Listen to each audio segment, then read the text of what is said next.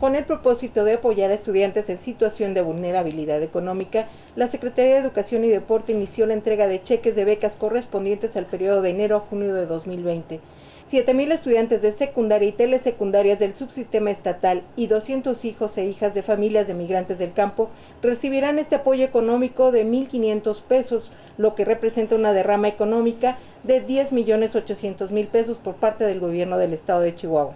En esta ocasión se estará pagando de manera diferente en la ciudad de Chihuahua. Eh, del personal de su escuela se estará comunicando con los padres de familia para que acudan a, cobrar su cheque a su secundaria. En el resto del estado serán, serán los pagos de la manera tradicional en las recaudaciones de rentas a partir del lunes 29 de junio.